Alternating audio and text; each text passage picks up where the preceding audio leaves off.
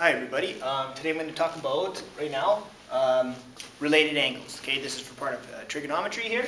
Uh, so how I'd like to bring it up is basically refresh you with something very simple that everybody remembers or should remember, is that uh, in math we can have a shape and we can imagine there's a mirror there and flip it over and you know move that or we could you know we could rotate it around so that it might look like that a rotation or a flip or whatever, or it can look like this. Assume these are all versions of the same triangle, what we really have to remember, which is not rocket science at all, is that if, uh, if this side is A length, that side will be A length, that side will be A length, that side will be A length. It doesn't matter what orientation we draw the triangle, we can draw it like, oh geez, we can draw it like that. There's our A length. Similarly, BBBB, and then of course hypotenuse we use the letter C, right? Piece of cake here, nothing, nothing out of the ordinary here, okay? So these look like to be like related triangles. It's, it's, there's a reason for that. It's because of the ratios. Because these sides are the same here, the ratios from one side to the next in uh, in one triangle will be the same in all the triangles. Uh, now, how does this relate to trigonometry? Uh, watch now, I'll show you the magic. Boom.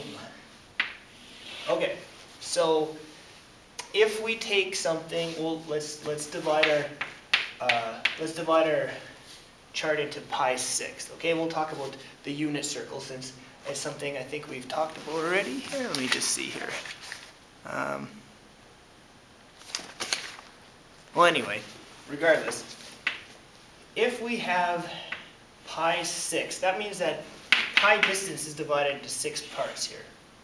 Okay, so there's one, two, three, four, five, six. Uh, each for 180 degrees, so that means each side is going to be 30 degrees. Yeah, so 30, 30, all the way across. Each one of these is 30.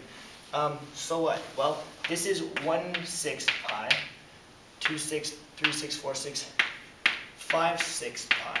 Okay?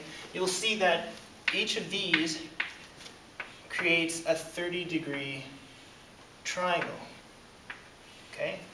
So what I have here are related angles. Because the shape they make right here, it's a, it's a 90, a 30, and a 60 here. Okay? Come uh, here. And, oh, I can't draw right now. Anyway, because these are uh, related triangles here, what that means is that these angles, 5 6 pi and 1 6 pi, are related angles. Not only that, if I keep going here, right, so this would be 7 6 pi, it also makes a triangle that is similar to that triangle. Um, this one wouldn't here. But, uh, this one here, 11, whoops, 11 sixth pi. This one would also, if I would have drawn it right, you could see better.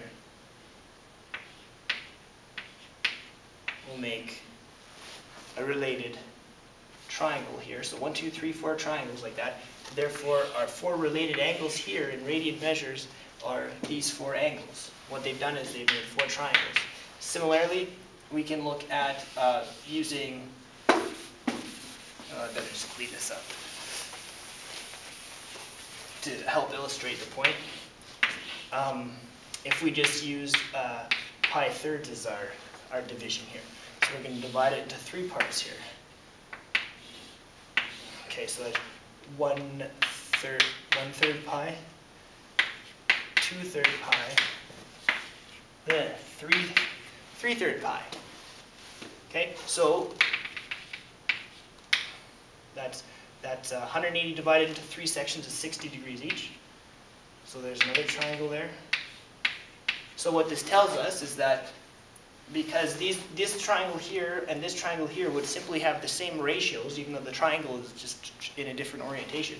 What it means is that this uh, measurement and this measurement, these are related angles. And of course, going down again, uh, 4 thirds pi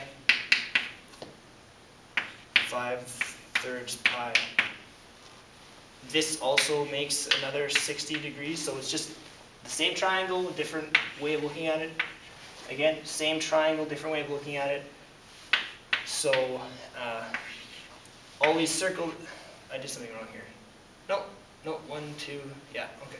All these different four angle measurements here are all related angles, okay? So if that doesn't get the point across about what a related angle is, you know, same triangle, just a different way of looking at it, like flipped or rotated, flipped or whatever, then uh, send me an email and I'll happily go over it with you one more time.